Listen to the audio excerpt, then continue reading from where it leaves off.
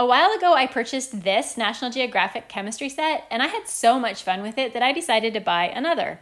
This time I bought a kit made by Unglinga called 70 Science Experiments. And to be honest with you, it was actually pretty disappointing. It only came with the supplies to do about 20 experiments, which is fine. It's just not what I was expecting based on the title.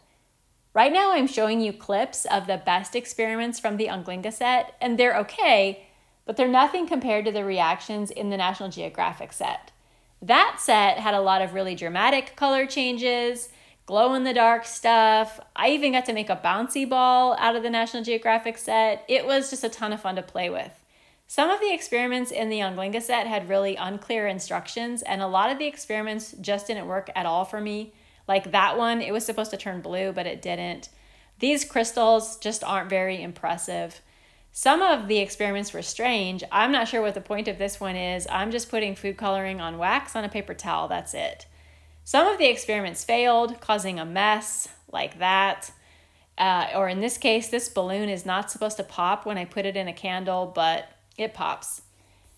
In general, using the Unglinga kit made me even more appreciative of the high quality of the National Geographic set. And if you're looking for a fun set of at home chemistry reactions, I recommend picking up anything made by National Geographic.